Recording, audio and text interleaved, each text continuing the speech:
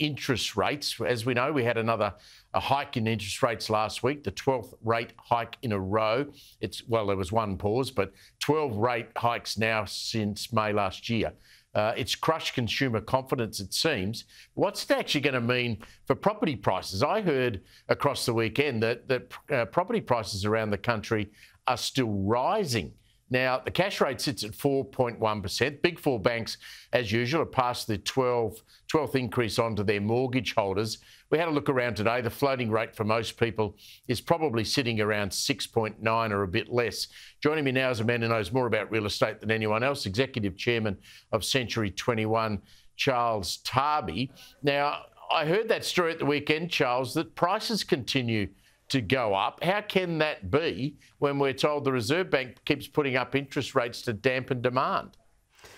Yes, Steve, look, they say that when an interest rate goes up 1%, uh, the prices come down as much as 1.34%. But we're in a really tricky place right now in that the market is just settling back down to where it should have been. I, we, we talked about this uh, earlier, and I think that what's going to happen is that there's going to be a steady base of price movement. I don't think it's going to go crazy again. I don't think it's going to increase. I think it's definitely going to start to settle down based on what we're seeing with interest rates. And I think that those people who don't have to sell, those that are working harder, those that have had the ability to change their mortgage structure, will probably just sit tight. There are a small uh, sector of, of home buyers that will be in trouble, but the greater majority will probably just sit tight, Steve. I think that's where the prices are going to go too. The top end of the market doesn't seem to be slowing down or cooling down at all, Charles.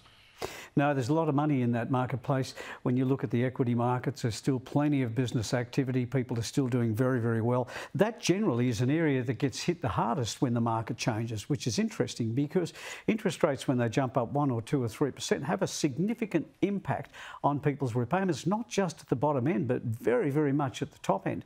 So there's a lot of people that extend their capacity. Uh, they start using more equity in their property and they can reduce repayments in certain ways and I think that's what happens, and they'll ride that out. But I don't see a change. I don't see the market crashing. You, you keep hearing the news that the market's going to crash. I don't see that. What I do see is the borrowing capacity of people is reducing each time those interest rate goes up. Uh, so therefore, their, their ability to buy a property or buy it at a higher price starts to pull back, and that's when we might see a change.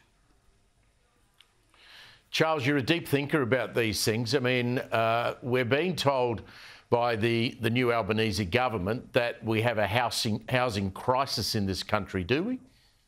Look, everything that seems to happen out there right now, uh, it just seems to stem from government intervention. Whether they're increasing taxes, uh, you're seeing with Victoria, land tax, Queensland tried to, to do the same thing earlier on. Everything they do seems to be about increasing taxes or increasing revenue rather than reducing costs.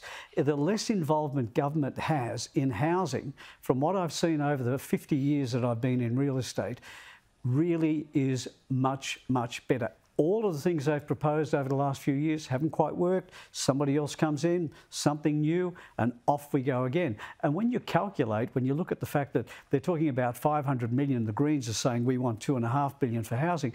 What can you do for 500 million? How many properties do you think you can actually provide? People who need housing with 500 million. It's nowhere near the number that they're talking about. I don't know where they work all of this out, Steve. I really don't.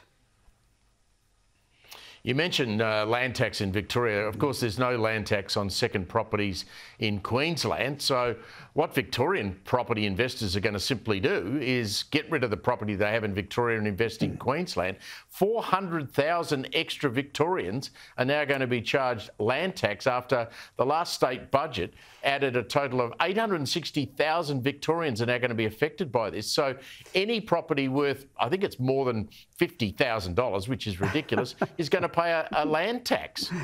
Yeah, and, and uh, when you look at the billions of dollars they're going to raise there, this is just a, another example of what bothers me most about the way the country is run. In my business, if I need to make sure that I don't go into debt, into too great debt, or go into overdraft or whatever it is. I'll look at my revenue streams, of course, but I also look at my expenses. I don't just go out there and raise money just by, th by throwing out some new plan to the people I do business with as a business person, I've got to watch my expenses. And all you ever see happening is taxes, taxes, taxes, instead of going back and running government like a business. They are going to remove so many people interested in property in Victoria. And this housing shortage that we have right now is going to be impacted very heavily in Victoria and Melbourne because that's one of the biggest marketplaces out there. So, why are they trying to drive people away? You always talk so much sense, Charles Tarbey. Thanks for joining us, mate.